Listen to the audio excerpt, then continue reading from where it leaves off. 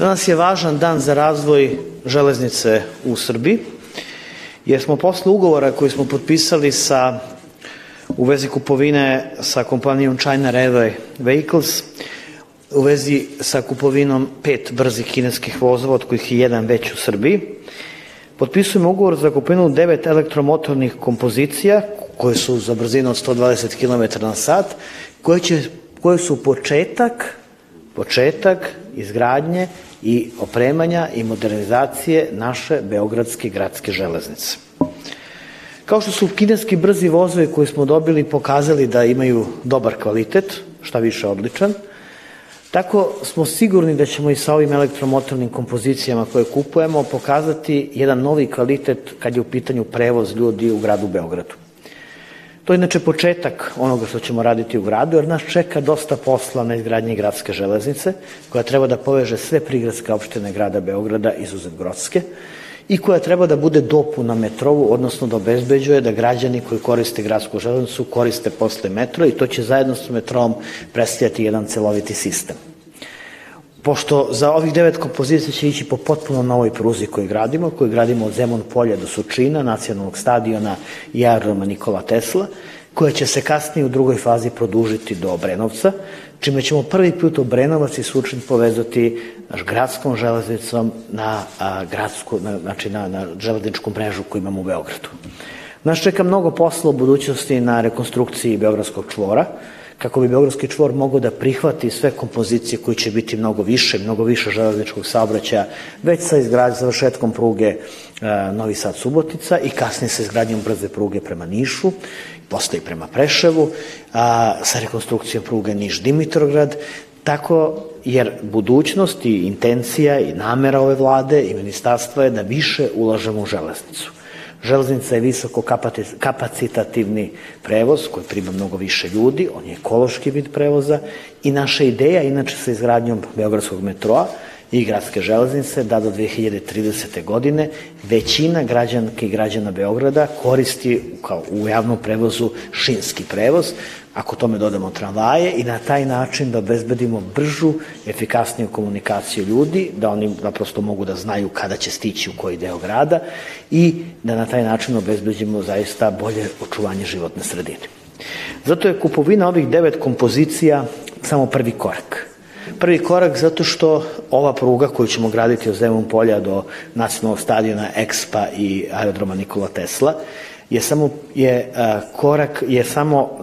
prvi deo, znači deo EXPA, deo celog projekta Srbija 2020, skok u budućnost 2027, ali nas iza, nama iza toga sledi rekonstrukcija pruga prema Mladinovcu i Lazarevcu, povećanje kapaciteta gradskog voza i sve ono što je neophodno da se uradi kako bi Beograd, Beograđanke i Beograđani mogli da koriste ovaj vid prevoza. Tako da je, zato je danas veliki dan, jer bez obzira što ćemo naravno na ovaj način obezbediti do kraja 2026. imamo sve ove vozove, znači za Expo ćemo ih imati, a to je početak izgradnje i rekonstrukcije i modernizacije postojeće gradske železnice. I zato je ovaj dan važan. To je naravno republički projekat, kao što je metro republički projekat i Beograd je grad koji ima tu sreću da naj, najveće projekte u ovom gradu gradi Republika bez učešća dinara iz gradskog budžeta i to je još jedan, ja kažem, još jedan doprinos vlade Republike Srbije da se Beograd dobro razvija. Ova pruga i ove elektromotorne kompozicije omogućuje nam još i nešto. Povezivanjem Zemun polja sa aerodromom Nikola Tesla mi prvi put obezbeđujemo da možete prugom da dođete iz određenih delova Srbije do aerodroma.